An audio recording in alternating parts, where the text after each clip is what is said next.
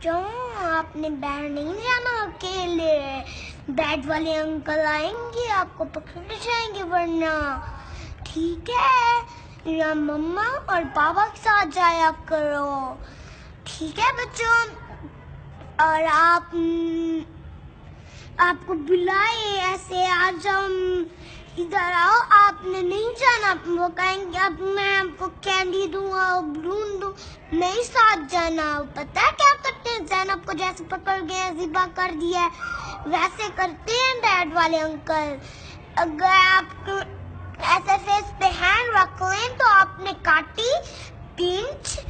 जब तक छोड़े ना, तब तक पिंच करते रहना, फिर मुक्का मारना है।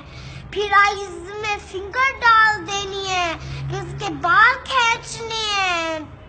मम्मा और मम्मा और पापा के साथ जाया करो बच्चों।